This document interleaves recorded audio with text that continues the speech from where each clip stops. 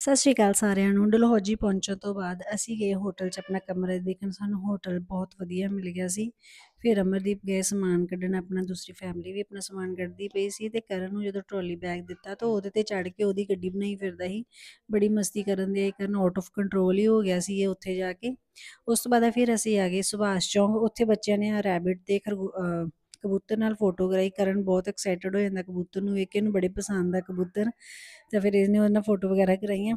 ਇੱਧਰ ਇੱਕ ਪਿੰਡ ਸੀ ਡਲਹੌਜੀ ਦੇ ਵਿੱਚ ਹੀ, ਸੁਭਾਸ਼ ਚੌਂਕ ਦੇ ਕੋਲ, ਜਿੱਥੇ ਬੜਾ ਵਧੀਆ ਸੀ, ਸਾਨੂੰ ਮਾਹੌਲ ਲੱਗਿਆ। ਬੱਚੇ ਉੱਧਰ ਚੜ ਗਏ, ਉਸ ਤੋਂ ਬਾਅਦ ਫਿਰ ਅਸੀਂ ਆ ਗਏ ਮਾਲ ਰੋਡ।